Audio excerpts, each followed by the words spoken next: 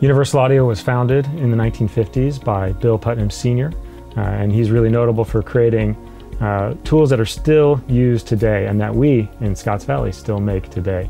So things like the 610 console, the 1176 compressor limiter, uh, and things like the LA2A. So the company was refounded in 1999 by Bill Putnam Jr. and his brother. And the vision was really to recreate what their dad had designed but also, Bill was really, really interested in the digital frontier.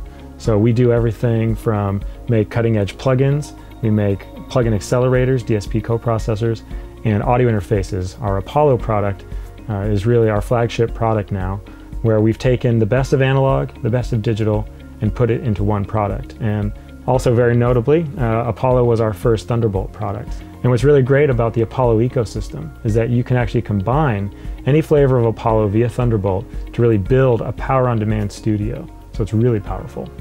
So we're here at Universal Audio headquarters in Scotts Valley, California, and we're sitting in Studio 610. This is our world-class facility that we finished designing earlier this year. And one of the really unique things about it is that we are fully wired with Corning Thunderbolt optical cables. So we've actually got our machine room with our computers, and then in the studio, we've got our Thunderbolt Apollos. And it's really great to be able to have the two decoupled, but they really do feel like they're sitting in one place.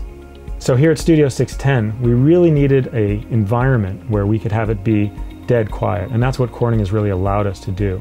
So with the computer in the machine room and the Apollo locally, we don't have any computer noise whatsoever.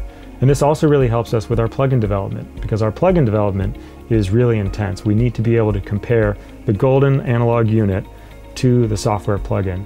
And again, being able to get the computer out of the room is just crucial for that type of listening environment.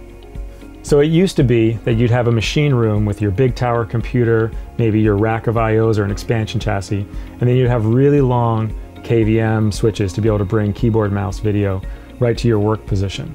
The great thing about Thunderbolt optical cables by Corning is that you no longer have to worry about that. We've got all of the things that we want in the studio with our Apollo, our Apollo 16, right at our fingertips, but all the noisy equipment, the hard drives, the computer, is far off in the machine room. It's really fair to say that we just couldn't do what we're doing here without these cables. It offers us a single cable with electrical and acoustic isolation. It's high bandwidth, it's low latency, all in a robust cable that is really great for the studio and the road.